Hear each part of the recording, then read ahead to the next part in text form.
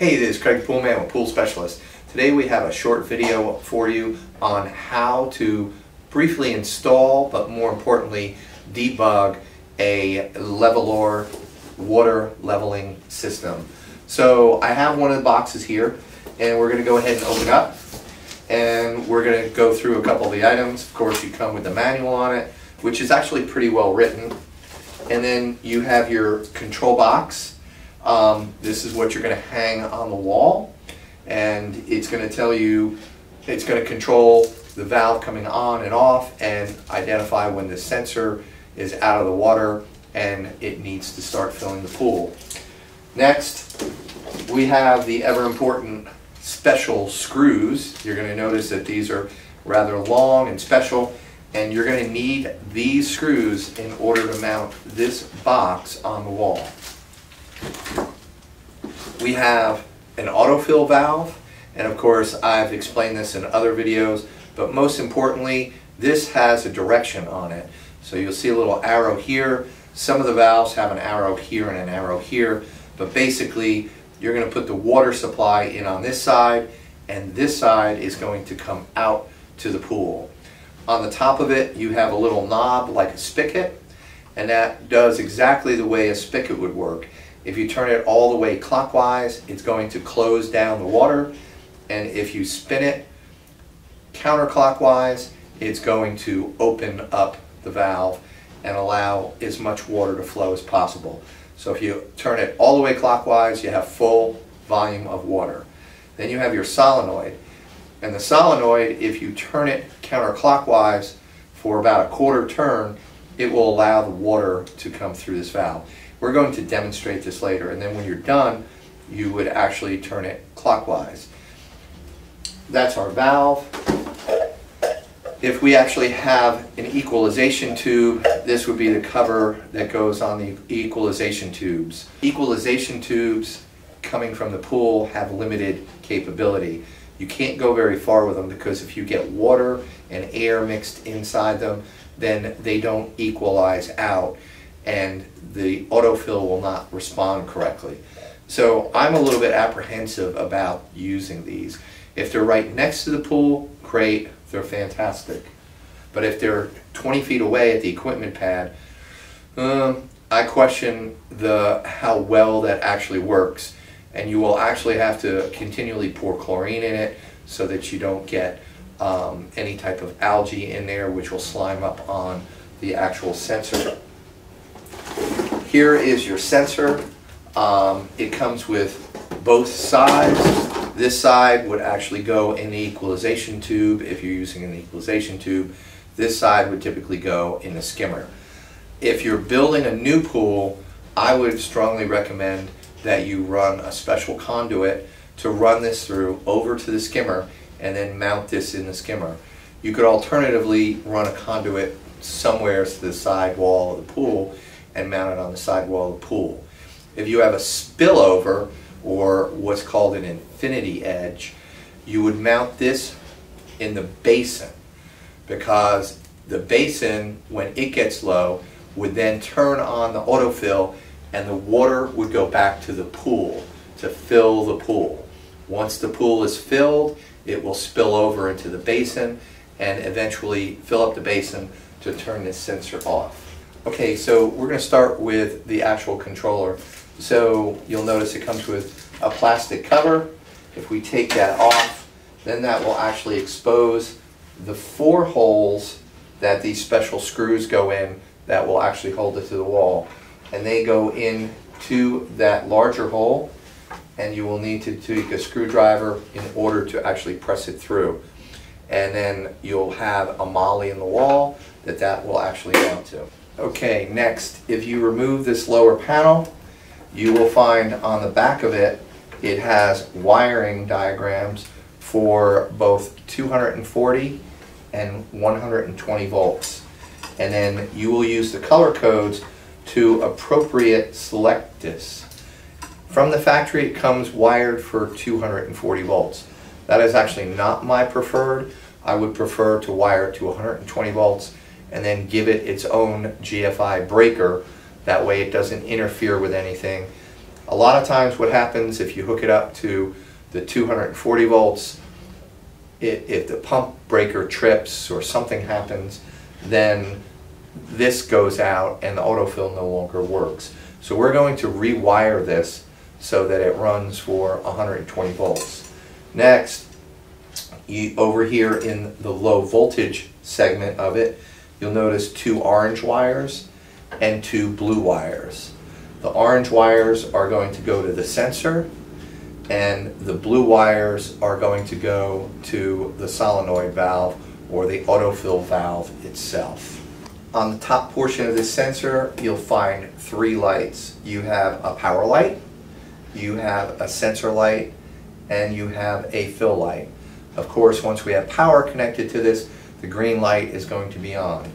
The sensor light will turn on once there it needs a water demand, so i.e. the sensor is not touching the water.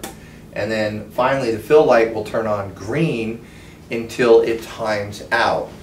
Now initially when this comes out of the box, this has a 20 minute fill time. And then if we take this panel off, we can go ahead and find that we have three jumpers up here. And jumper S1, jumper A, jumper B. If we cut A or B, then we go to a 40 minute fill time. If we cut both jumpers A and B, then we go to a 60 minute fill time. If we want an unlimited fill time, then we are going to cut jumper S1. Okay, just for visual effect, so that you can see it a little bit better, we made the connections outside of the box, but normally you would put in a strain relief on the bottom of the box, clamp the wire to it, and the connections would be made inside of the high voltage area or chamber inside the box. You'll notice that the green wire goes to the green, the white wire goes to the black and white combined with the black and yellow, and then the black wire, the hot side, goes to the black, and then sometimes it's just a red wire, and sometimes it's black and red. Okay, so this is a sensor wire that comes with the system. The distributors typically stock the one that comes 200 feet. Now you can also purchase this in 100 feet, 150 feet, and 250 feet. And the sensor wire itself is actually nice quality and you typically have more than is required for the job. So I tend to like to use this wire to also run to the valve, the autofill valve. So you want to make sure that you color code everything so that when it comes into the actual controller that you know it's coming from the sensor or it's coming from the autofill valve. We have a picture of the full connection. So you'll see that I've coded the autofill valve with blue to match the blue wires that come out for the autofill. And I've coated the sensor in red You'd also do orange if you have orange tape or just label them and they are then connected to the orange wires. You will need to make these connections inside the chamber, inside the box, and then put a strain relief. We've only done this for purposes so that you can actually see the connections.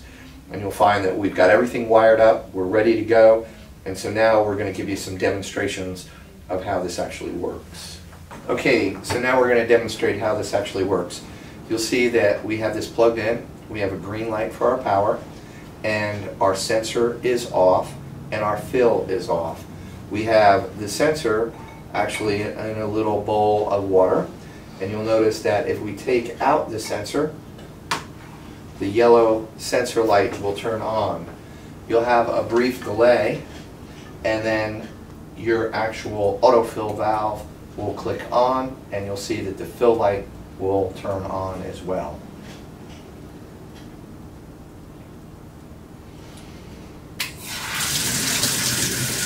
So now you can see that it is actually functioning, the still light is green. Once it times out, that still light will turn orange. If we place the sensor back into the water, you'll see the sensor light turns off. And once the sensor light turns off, the still light will stay on for a few minutes, and then it too will shut off. This is just a timing mechanism to make sure that it isn't a false positive or a false negative for the water being at the correct level. So you can see that that water is shut off.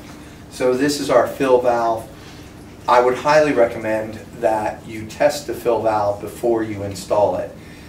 It has a high failure rate and sometimes it happens with the solenoid, sometimes there's issues with the valve, whatever.